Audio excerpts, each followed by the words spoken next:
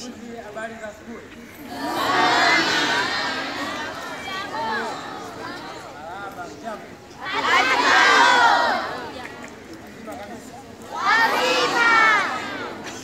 Awali ya yote pende kushukuru makamu mkuu wa shule kwa kuweza kutupatia fursa na nafasi ya kuweza leo.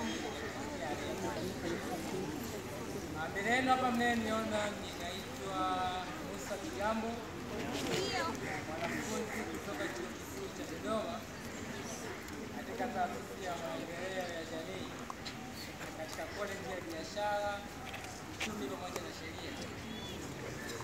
Ah, Nimekuwa nikijihusisha na utoaji wa semina, ushauri na elimu mbalimbali kwa wanafunzi.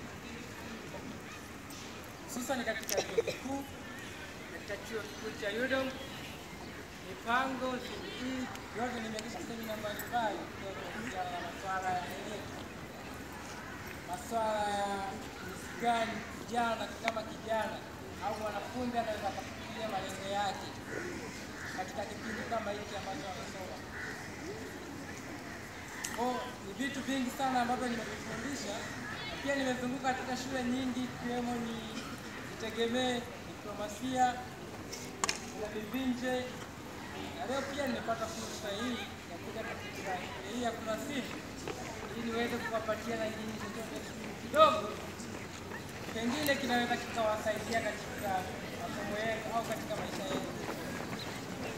Hii leo tutazungumzia swala la elimu tu. Tutazungumzia swala la elimu.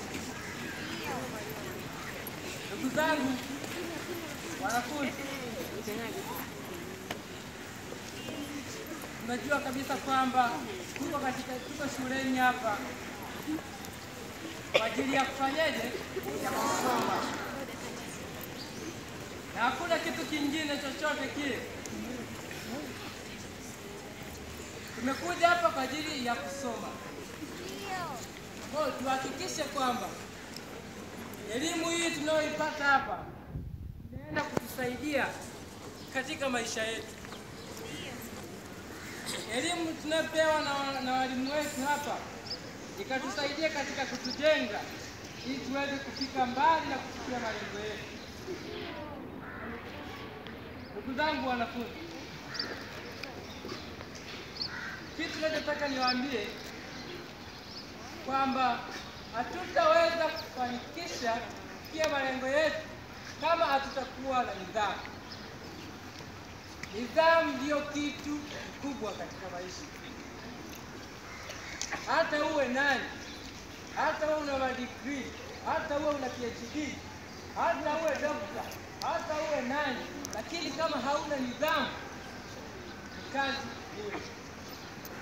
Kwa hivyo nyewe wanafunzi, hakikisheni mnaishika sana nidhamu, nidhamu yenu binafsi na nidhamu kwa walimu wenu.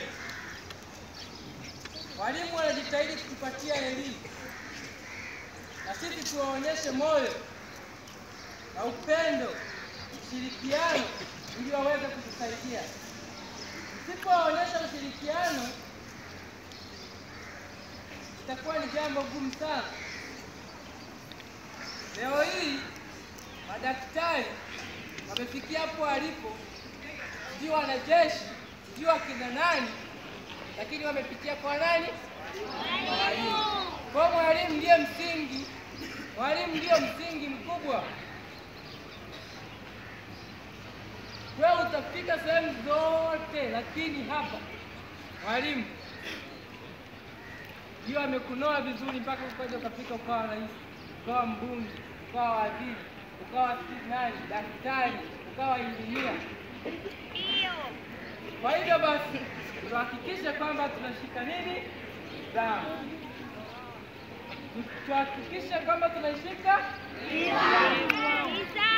pia tukumbuke kwamba taifa linatutegemea sisi kama vijana. Nyie ndiyo taifa la kesho, taifa kubwa. Kwa hivyo hakikisheni kwamba mnasoma kwa bidii, hakikisheni kwamba taifa linawategemea.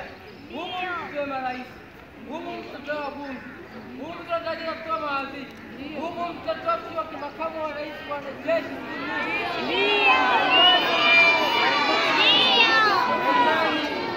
Na imani kwamba tunayowaambia, ukiyashika tunayowaambia, walimwengu wanayowaambia, amini mtafanya mambo makubwa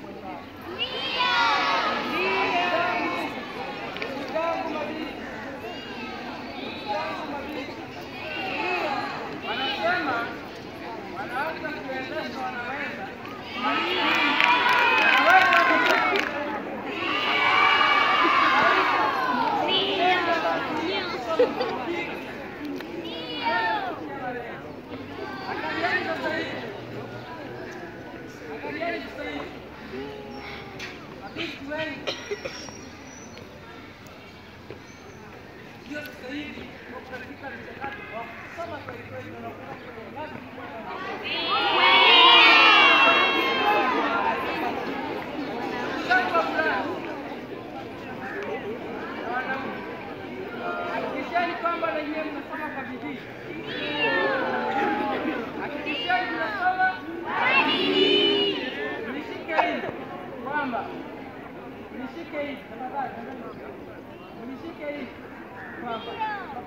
Moja, tutakapokuwa tunasoma tuhakikishe kwamba tunakuwa bunifu wa vitu mbalimbali. Mwisho wa siku, hata tutakapotoka hapa shuleni, twende tuwe wajasiriamali wakubwa, tutumie creativity, tutumie ubunifu. Ni tunaweza tukavifanya? Usisome tu kwamba ninasoma ninasoma, lakini huo ujuzi wako mwingine wa kutumia. Nimewaambia kipaji kina asilimia arobaini tu. Kipaji kina asilimia ngapi? Lakini asilimia sitini zote ndio za nidhamu ili kufanikiwa. Kwa pamoja, kama una kipaji chako ni asilimia arobaini, ingine zote sitini ni za nini? Nidhamu. Nawaambia hivi, pambaneni, piganeni. Wanasema pigana kuwa mwezi, hata kushinda utakuwa utakuwa nyota.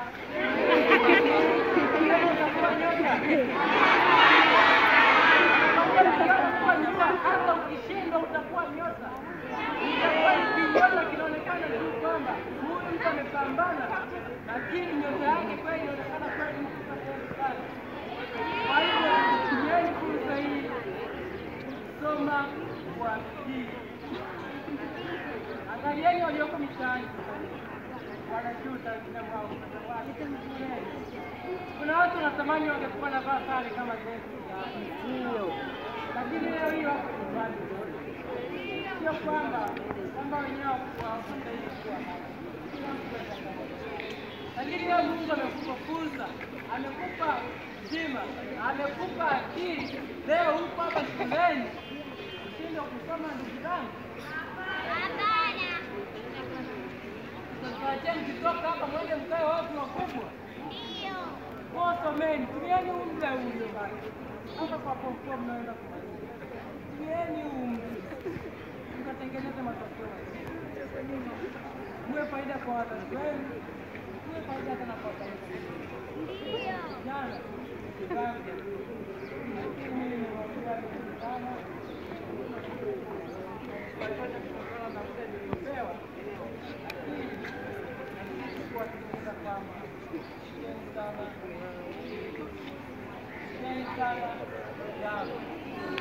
waheshimuni walimu wakati wanasema kwamba tutaonyesha ushirikiano tutaonyesha mshikamano mkubwa na nidhamu.